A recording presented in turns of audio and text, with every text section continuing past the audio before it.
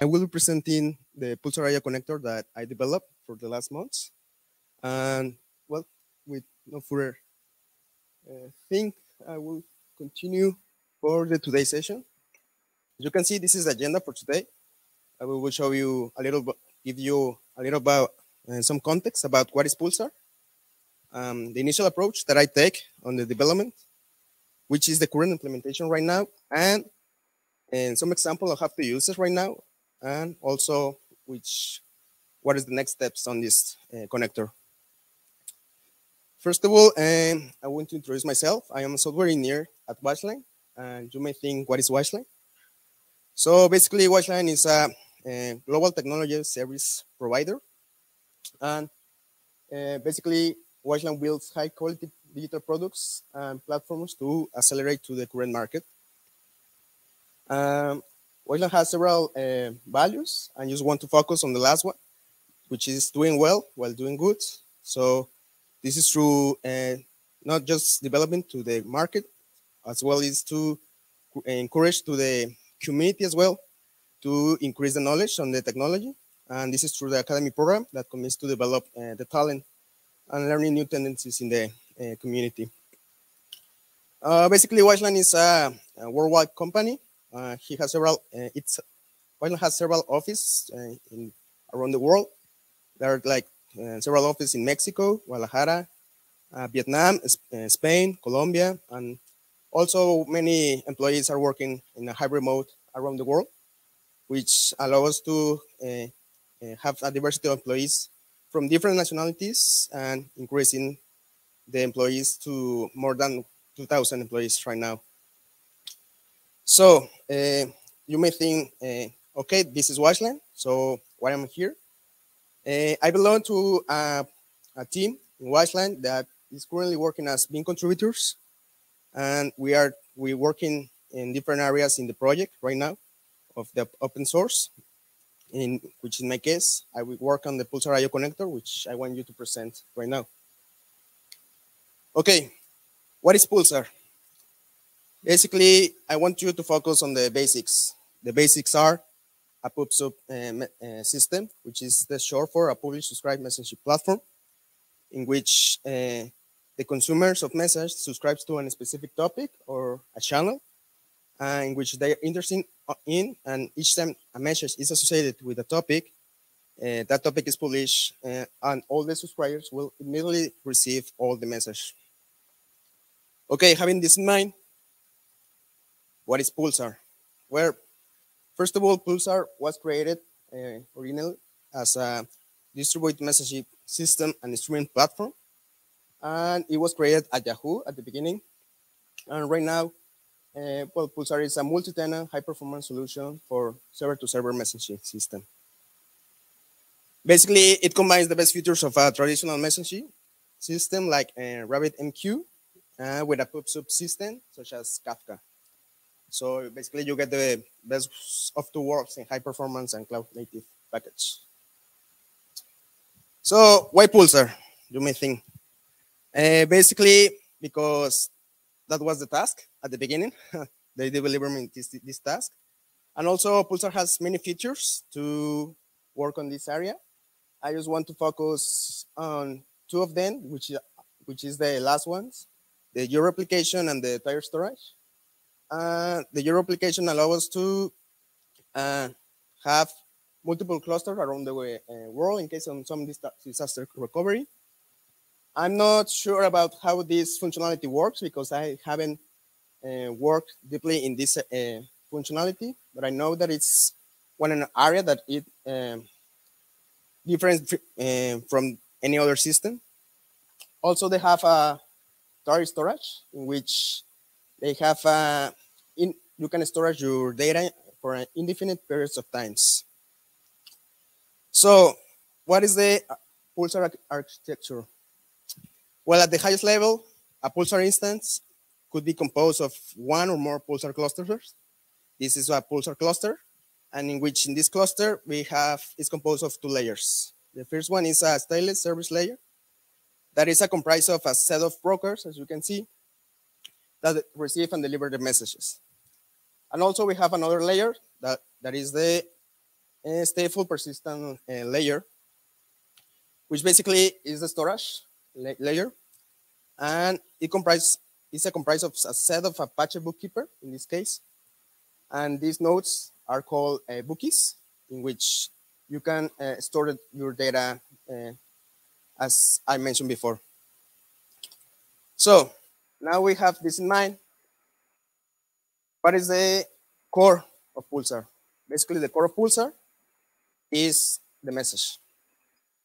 So the messages are the basic unit of Pulsar, and each message has several properties that we can, uh, that, well, Pulsar implemented, but I, I just want to focus on these three uh, properties that we will have in, we will discuss uh, in this uh, session. The first one, the sequence ID. Each pulsar uh, of each message in pulsar, sorry, belongs to an order sequence on its topic and is not a default option. You have it has to be uh, assigned by the producer, so it has to be uh, configured uh, by the user. Which constraints do we have? Well, the sequence ID should be greater or equal than zero. The next sequence ID should be greater than the before one. And it's not necessary for sequence ID to be uh, consecutive. What does it mean? That uh, there can be holes between the message. Uh, let's say that we are in the message, I don't know, 65. And the next message from that message could be, I don't know, 87. So this a big hole between this sequence. Next one, the message ID. And this basically, as the name said, is the unique um, the ID of an, a specific message, which indicates the position in a ledger. You may think, what is a ledger? Well, to explain a ledger uh, is kind of, uh, I don't want to focus uh, deeper in this um, topic, but let's just say that is like the ID that indicates where is the message within the Apache Bookkeeper or our storage. So uh, one of the constraints that we have on message ID is that it's not a numeric value, as in Kafka, that we have the offsets, and it has its own value that uh, uh, type in Java, which is a message ID class. And the last one, the publish time, which basically is the timestamp of when the message is published.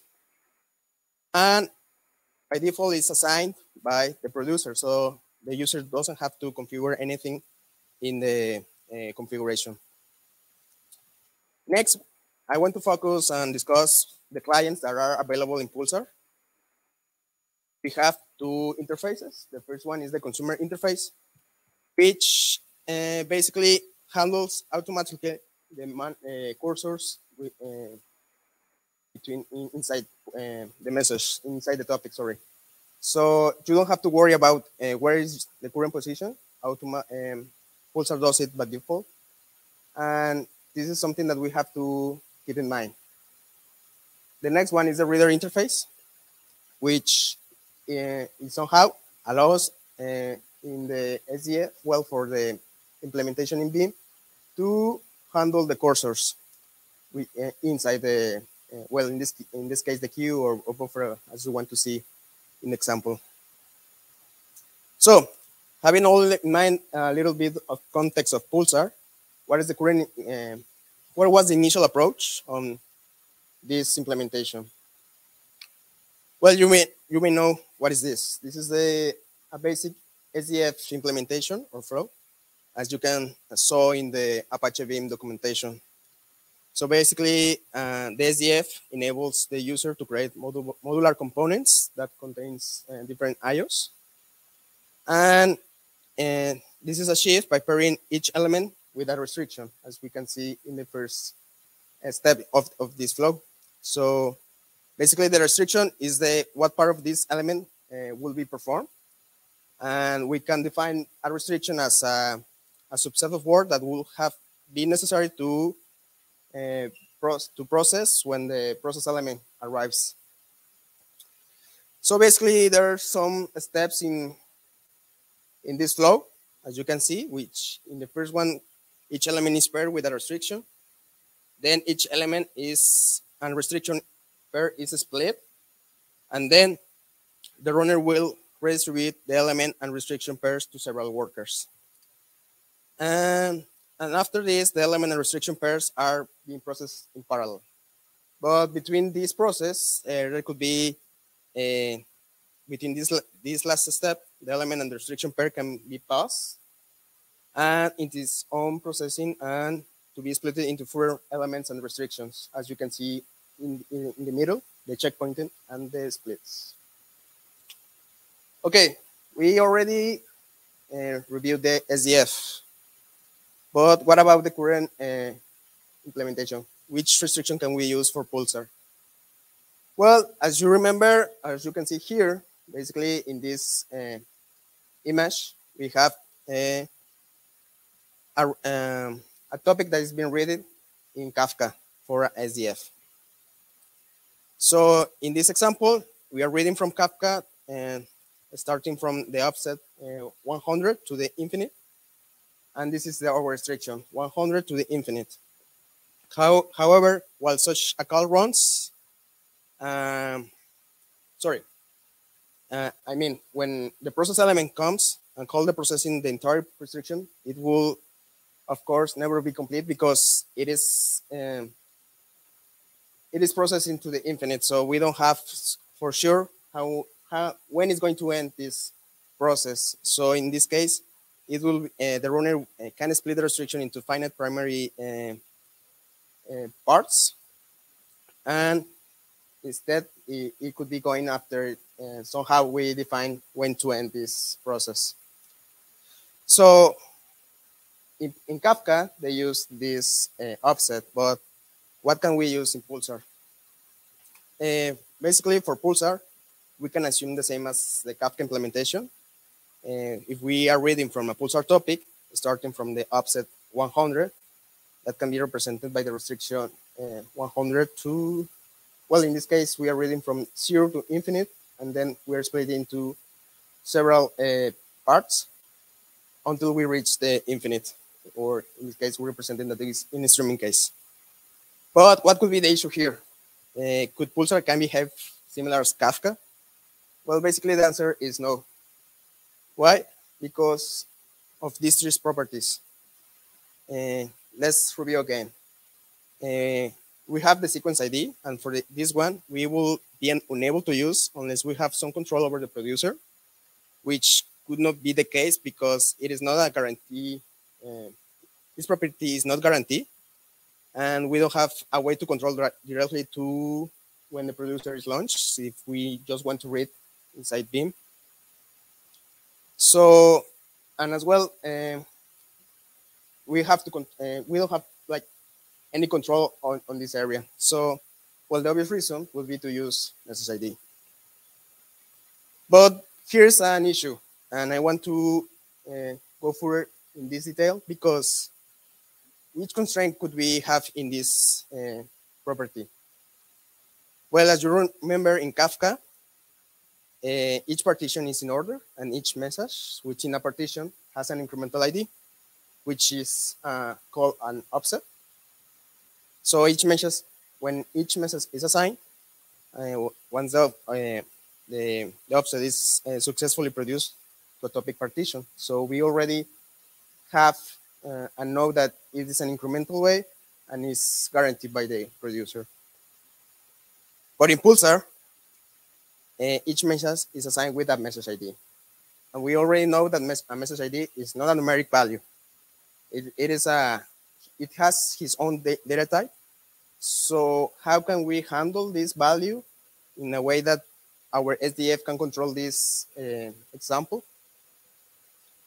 Uh, well, I just want to focus that uh, before I go to the next slide, that a message ID has its own value and is formed by these three properties that builds a message ID. With this in mind, there are some codes that allow us to convert a message ID, which is uh, which has its own data type, into a numeric value, as in this example.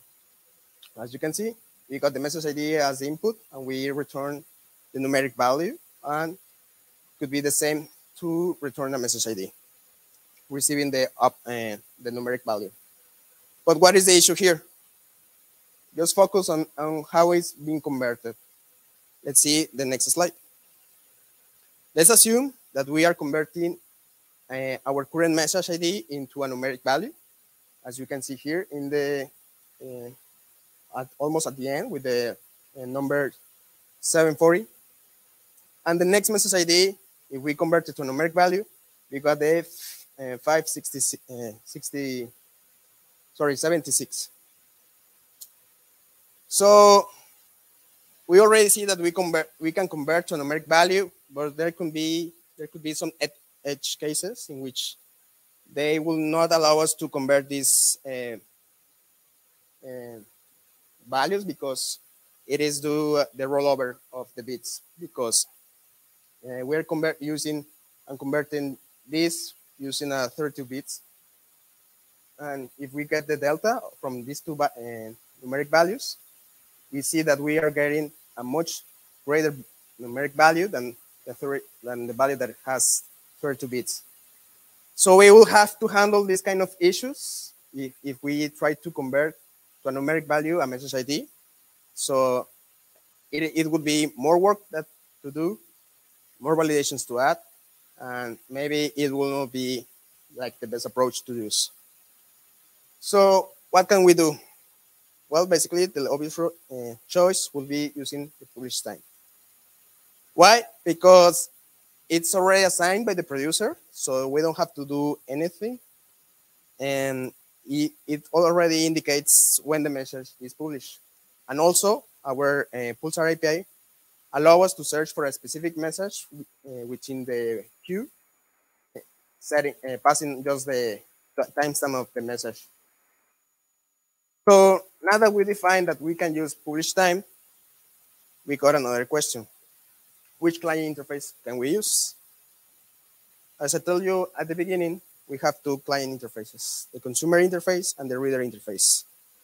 But for the reader interface, is the one that we need to, to choose because it basically allows us to handle the cursors by, by us. So we, we, we need to do this in order to configure the and work with the uh, SDF uh, inside Beam. So that uh, that allows us to go to the next uh, step, which is the current implementation. So as you can see here, this is basically how it should be, and how it looks right now when we apply a restriction to in Pulsar, uh, when reading from Pulsar. Basically, we're if we are reading from the beginning, we are reading from zero to the infinite, and then we will be splitting into um, final, um, several pieces, this, this work, onto a specific timestamp, right?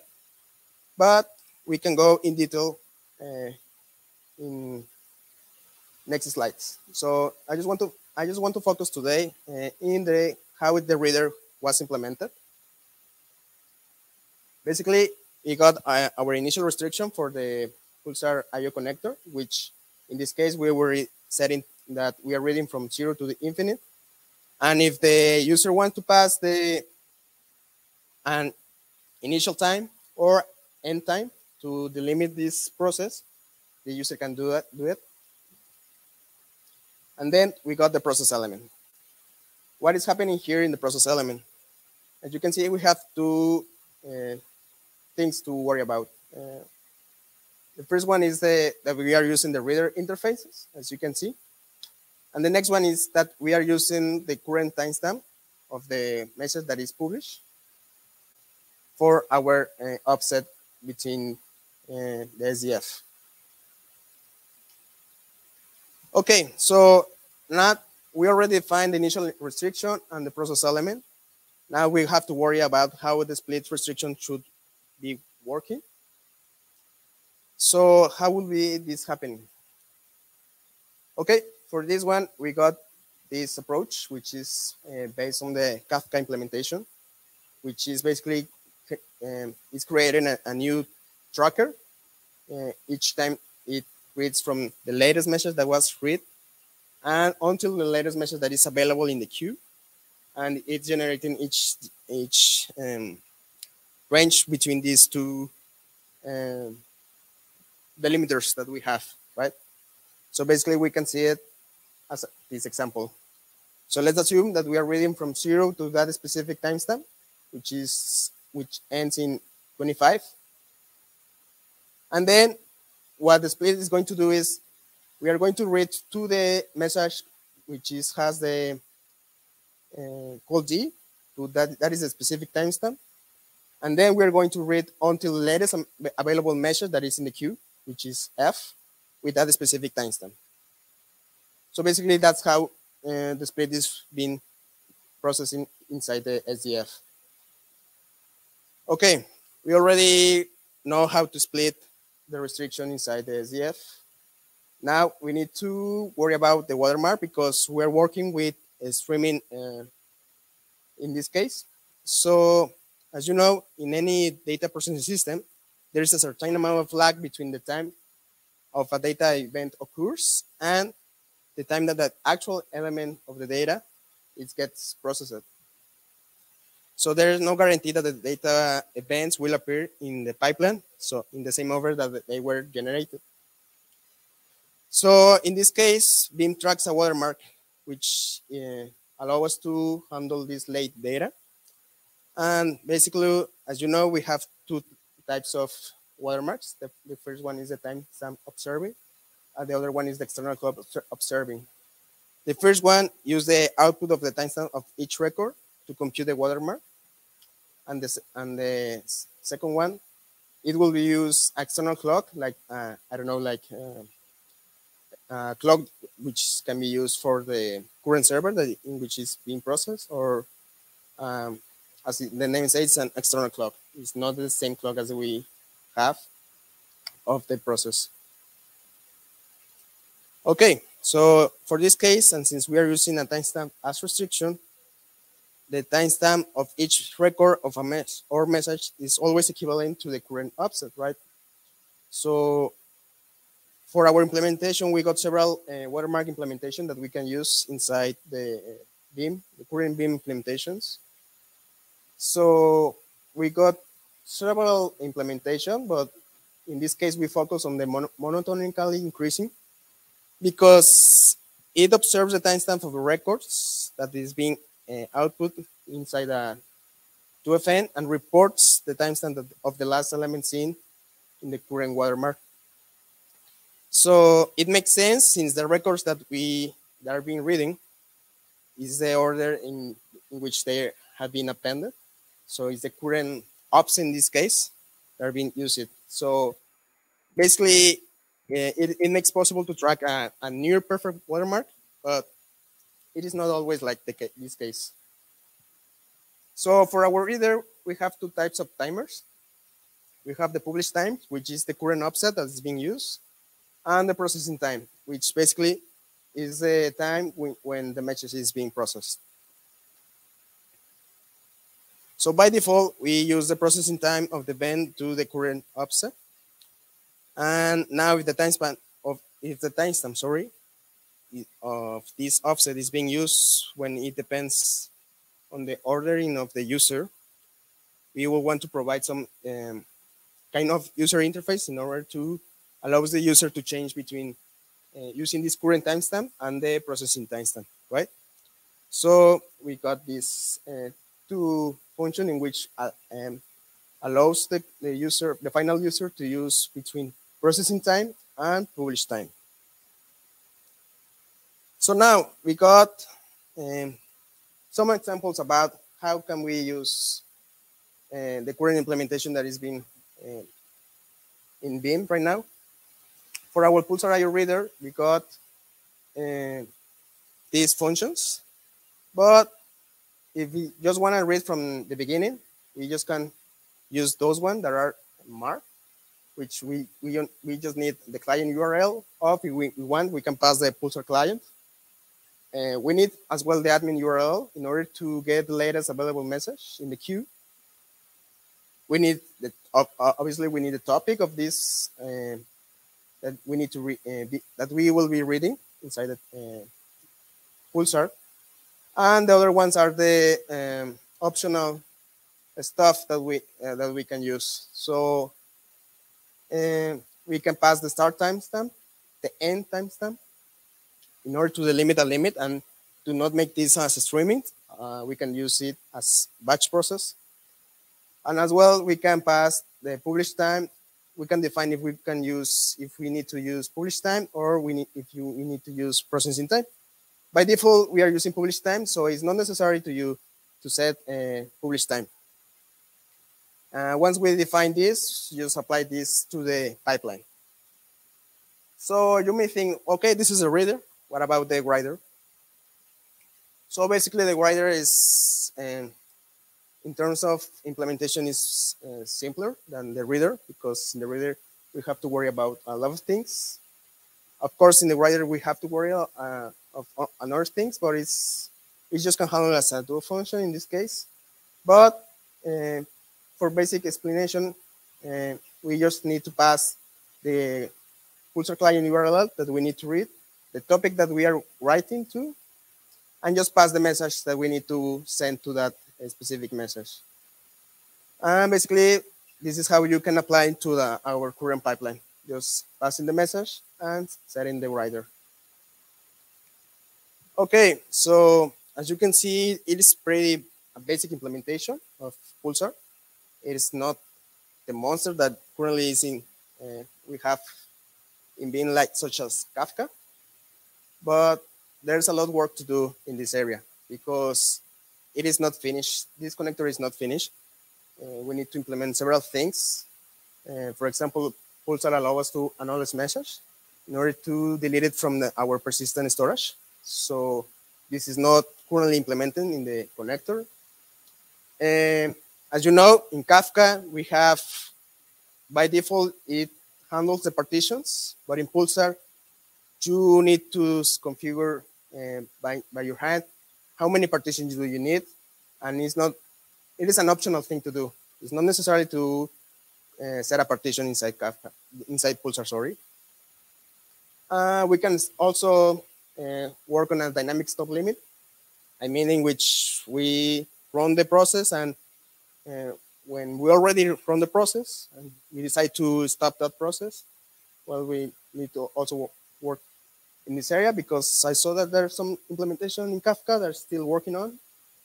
And also there are another topic like, like Pulsar has several subscription types in which um, decides how to deliver the data between the, the consumer and producer.